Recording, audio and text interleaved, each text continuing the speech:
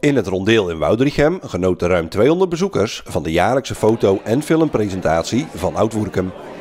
Goedemiddag allemaal. Ik ben altijd heel nerveus als ik uh, dit organiseer, want dan vraag ik me altijd af, zal er wel iemand komen?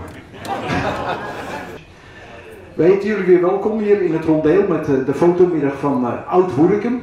En voor degenen die het niet weten, Oud-Woerkum, dat ben ik en mijn vrouw samen.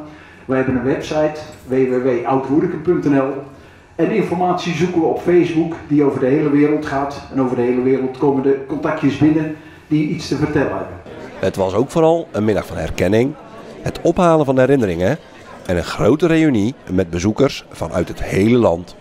Mensen uit Hillegom, Vlissingen, Limburg, Utrecht, waar eigenlijk niet vandaan, in Woerkum.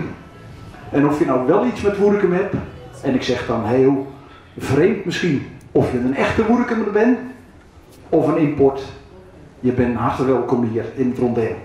Verzamelaars Aart en Anja de Joden namen de mensen mee op een reis door Woudrichem aan de hand van oude foto's en video's.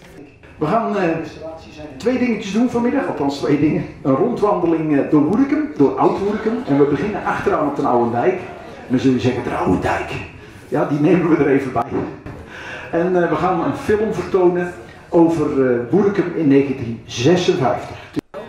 Ook werden er door de bezoekers veel vragen beantwoord over de foto's, zoals wie staan er eigenlijk op, wie hebben hier gewoond of waar diende een bepaald gebouw voor.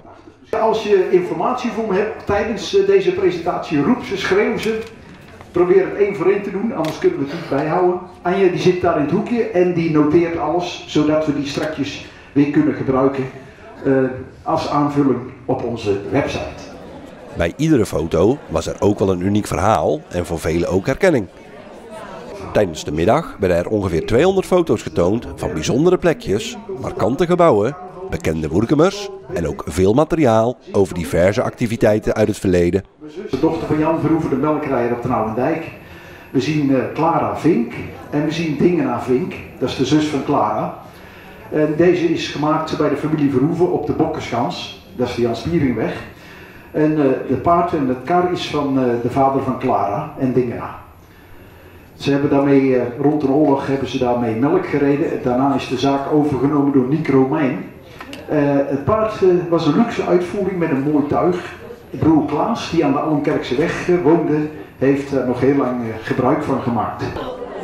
Ook werd er veel gelachen om bijvoorbeeld bijzondere jeugdfoto's of de vraag hoe de kuil achter de meulen in Woerkum beter bekend staat.